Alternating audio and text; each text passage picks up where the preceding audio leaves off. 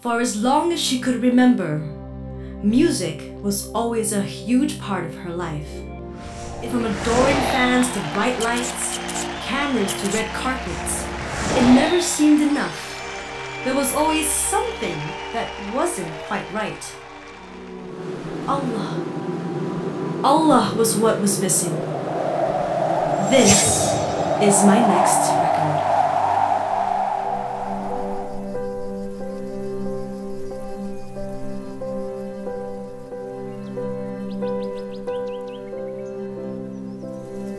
always loved the streets of Perth.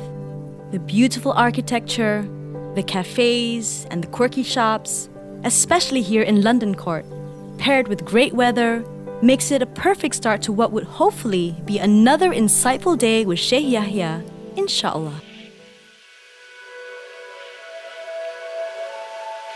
Upon my return from Hajj, um, I didn't want to tell anyone about what was going on with my life, with my heart, with my mind.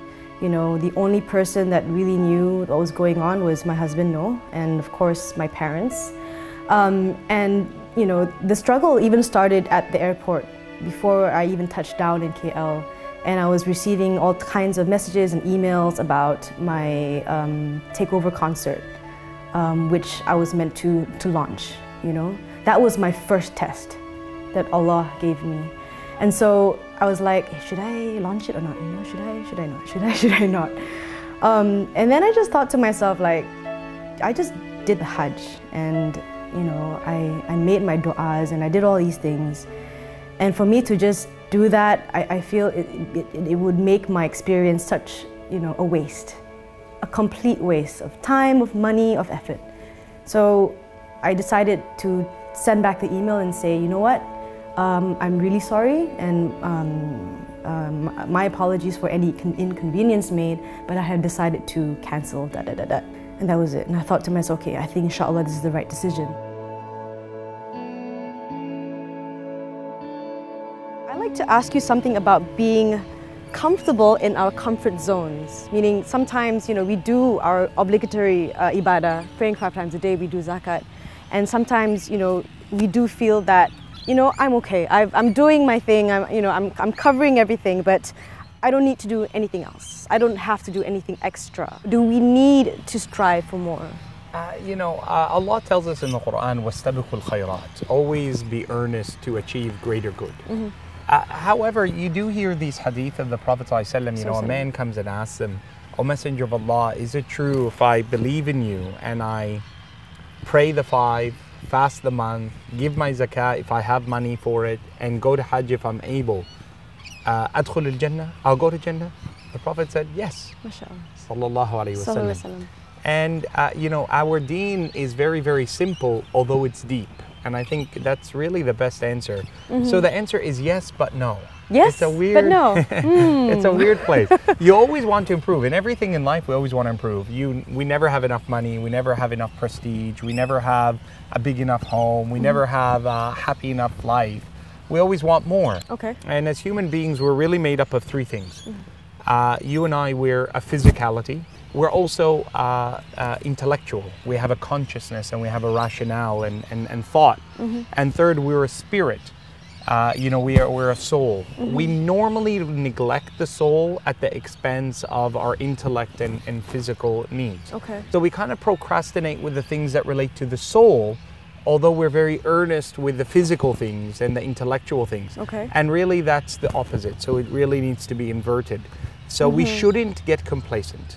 Okay. Uh, but uh, the Prophet ﷺ does tell us that our faith is something that is really, uh, you know, you can attain a great deal of happiness between you and Allah with the simple things. Okay. So it's not about doing major, major things, uh, maximum uh, effort to mm-hmm. gain a, a, standing with Allah. Really, it's simple things. Ayatul Kursi when you wake up, before yeah. you sleep, mm-hmm. after every salah, guarantees you a place in Jannah. It's a really simple thing. Mm-hmm. Uh, you know, Subhanallah wa bihamdih Subhanallah al-Azim, it's the heaviest thing on your scale on the day of judgment from the words of the Prophet mm-hmm. So the simple things are really good, but we, you know, it has to be done in a way with an open spirit. We shouldn't just say, oh, I'm happy with where I am. There's always a desire to improve.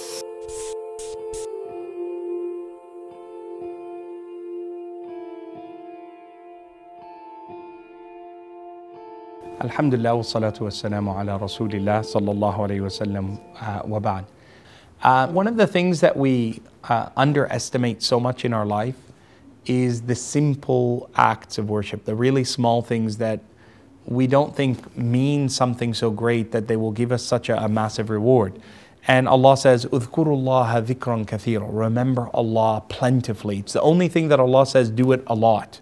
Uh, simple things like Subhanallah is what saved Yunus from the belly of, of the whale. Allah says that uh, when Yunus was in the belly of the whale and the whale dived down, لَلَبِثَ فِي بَطْنِهِ إِلَى يَوْمِ يُبْعَثُونَ He would have stayed in there until the day of judgment. لَوْلَا أَنْ كَانَ مِنَ الْمُسَبِّحِينَ His only saving grace was that he was a person who made tasbih a lot. And the, the hadith of the Prophet ﷺ says that the angels who are down there, they heard him. and they were like, we know this voice, but it shouldn't be in this area. It shouldn't be in the ocean, you know, so far down.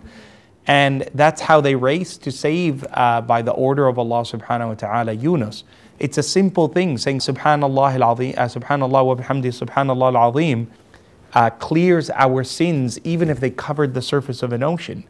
Uh, they are two words that are light on the tongue, that are loved by Allah, that fill the scales on the day of judgment. And whenever someone is coming back, you don't want them to start with something massive. Most people, you know, they do something wrong and they say, oh my God, I got to go to Hajj. And it's really as simple as saying, Astaghfirullah al-Azim, Astaghfirullah al-Azim, Astaghfirullah al-Azim, and thinking about it and doing uh, two rak'ah prayer. There's this beautiful hadith and uh, a man stops the Prophet ﷺ on the way to the masjid to lead prayer and he says, oh Messenger of Allah, you know, I kissed a woman, she's not my wife. And that's like, everyone's like stunned. Whoa, the Sahaba, this guy, this happening in Medina? And the Prophet said, Shh, let us go finish our prayer. So the Prophet leads the prayer and leave, and after he finishes the prayer, وسلم, he wants to leave quickly. He doesn't want to talk to this man anymore. And the man sees the Prophet leaving quickly, so he runs after him and says, Ya Rasulullah, you know, you know, I told you. The Prophet ﷺ said, Didn't you just pray? He said, Yes. He said, قَدْ غَفَرَ اللَّهُ لَكَ Then know that Allah has forgiven you. And then the Prophet says this beautiful hadith. He says, no, no believer makes a good wudu, like a proper wudu, and prays two rak'ah to Allah and asks for forgiveness except they're forgiven.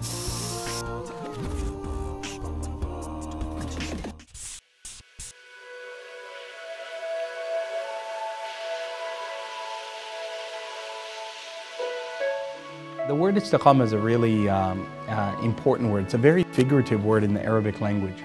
Uh, it gives a mental image of standing upright, standing tall. And you know, you know when you were younger and people say, you know, stand up tall, don't, don't slouch. Uh, when you're slouched over, when you're walking slowly, it's a sign of laziness. It's that you're not engaged.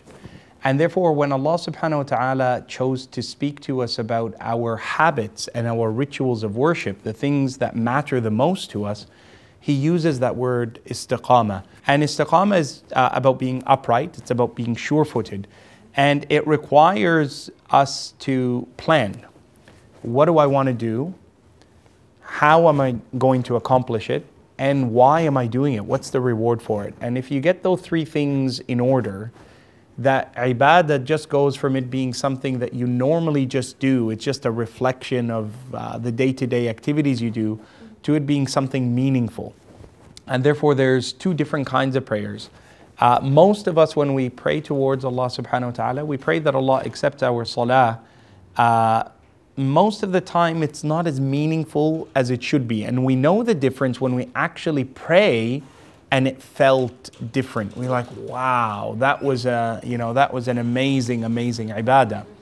And you feel that you were connected to Allah, that your salah was, uh, was something that bound you to Allah subhanahu wa ta'ala. Uh, and that's because, you know, it was something intentional. Why am I doing what I'm doing? And um, what is the reward I'm doing it for? And do I really want that reward? And that's why Allah, when He speaks about, for example, fasting, he says, whoever fasts with iman, that's why, and with ihtisab, knowing I'm going to get a reward for it, for them, their fasting will give them forgiveness from their sins.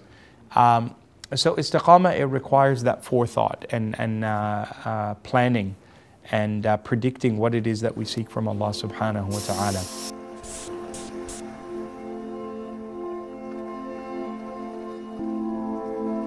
I definitely think I do uh, struggle a little bit when it comes to our daily deeds. Um, definitely one of my, uh, my struggles is my forgetfulness.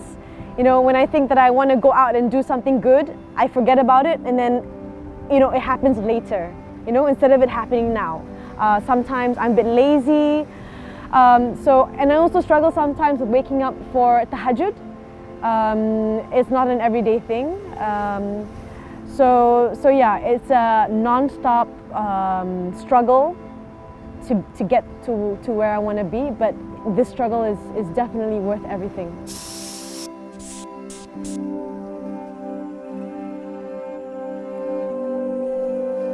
just want to ask you, how do we stay focused on being steadfast when there's so many distractions in the world? Like for example, I mean, they could be big distractions or small ones, but how do we, how do we manage ourselves? Um, Alhamdulillah wa salatu salamu ala rasulullah. I think there's a few things that we have to keep in mind. Uh, one of the things that Allah asks us to do very early on in the Quran is to pray to Him uh, to be led to as-sirat al-mustaqim. And really, if I was to translate uh, the concept, not just the literal translation of sirat al-mustaqim, uh, it would be balance mm -hmm. in life. Mm -hmm. Istiqama is just another way of saying I want to be upright or balanced. Okay. And there's three things that, whenever you talk about balance, there are three things you're talking about. Uh, one is credit and debit. Mm -hmm. Like that, what you take from people or what you take from something, that you mm-hmm. put enough back to keep your checking account in balance, okay. I guess, right? Okay if we can keep our relationships with others that we're not taking more than giving, no one wants to be friends or married to or son of uh, a, a, a, taker. Mm-hmm. You want to be with people who are giving. Okay. And that's the sunnah of the Prophet. Uh, the second is, you know, it's easy when nothing is shaking beneath you, when you haven't been tested the ground is firm. Mm-hmm. But when the earth moves a little bit or when things get a little bit difficult, you think that you were standing tall and standing upright and firm footed, but the ground shifted and now you begin to fall and you're off balance. Although the, ga- the ground is firm today, that it, it's going to shake one day. The health you have is going to leave. Uh, the young age that we find ourselves in, I'll include myself in that, uh-huh. is something that is, is counting down. Mm-hmm. So to take advantage of those kind of things becomes very, very important while we're still firm uh, and the ground is beneath us. Money will come and go, and it'll go more than it comes. Mm-hmm. Uh, health will definitely uh, lag and, and, and wane. Mm-hmm. And uh, you know, you want to be upright when you have that opportunity. And the third is you want to have that equilibrium that if you go too far one way, you want to make sure you have friends mm-hmm. that pull you back. Okay. And Allah says that there's some people that when it's said to them, come back to the truth, they just you say, no, no, no, I'm all right. And mm-hmm. that's something that we have to always be worried about. Who centers us in life is very, very important in, in our relationships with others. Who can we rely on to kind of give us that sense of humility and, and bring us back towards Him mm-hmm. and lead us in the right way.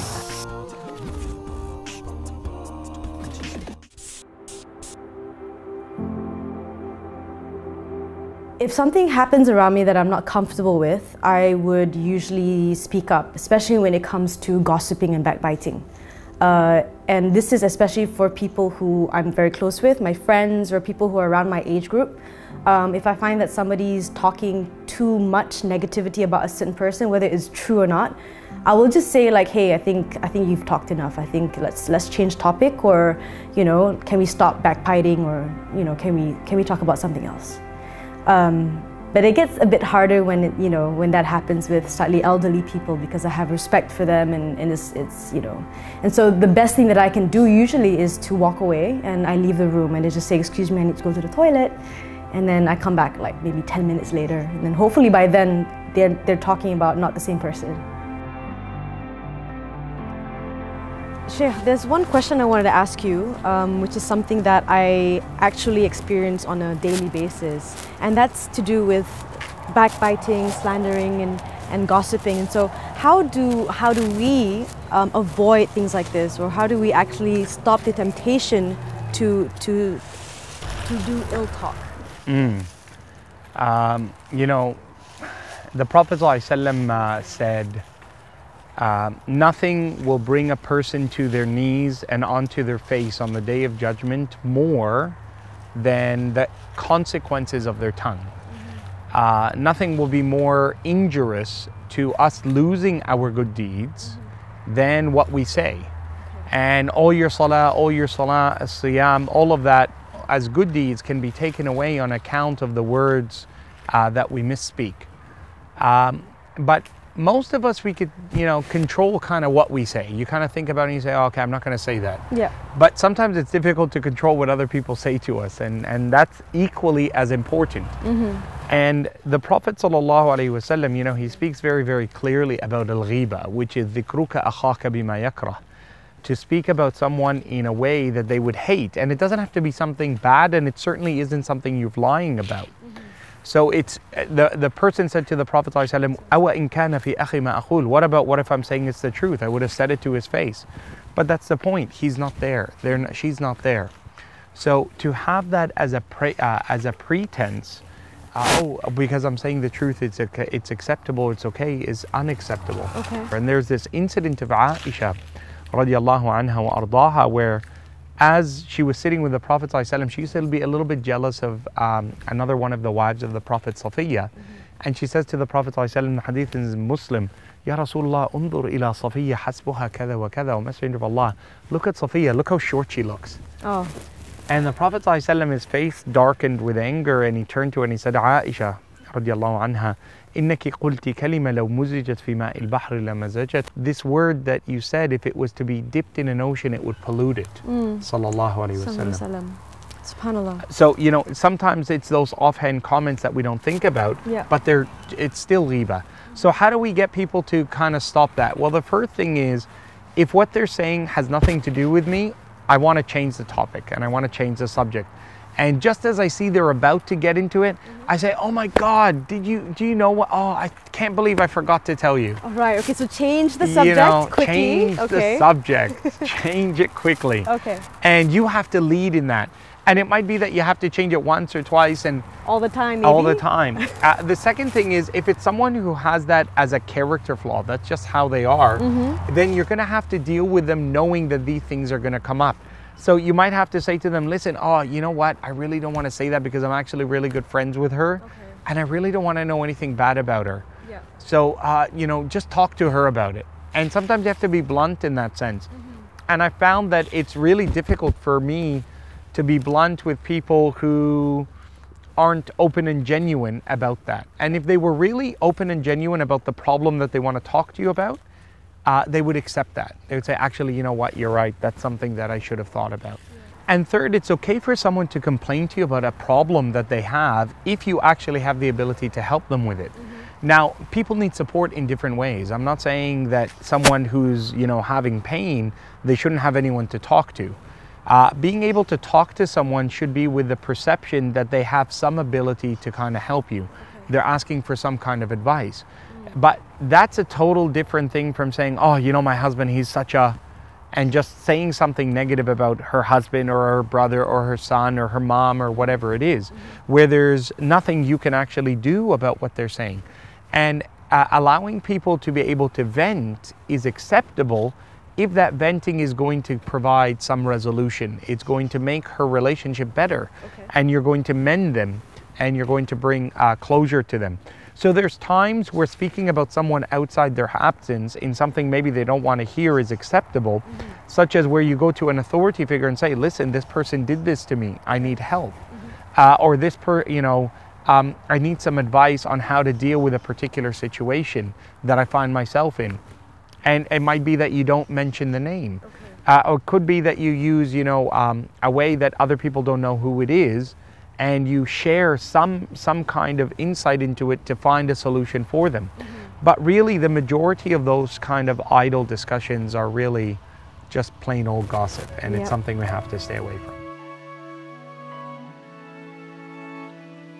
My life was like a dream, and the more I struggled to find my way to make a better day, the more I wanted to make me a better person, to start living and learning Islam as I lay my head to the ground, to start thanking Him for all of His blessings. Because what really matters is Him. my relationship with Allah subhanahu wa ta'ala, with Muhammad sallallahu alaihi wasallam, with you and all of his creations. And as long as I have Allah, I am free. I am loved. I am me.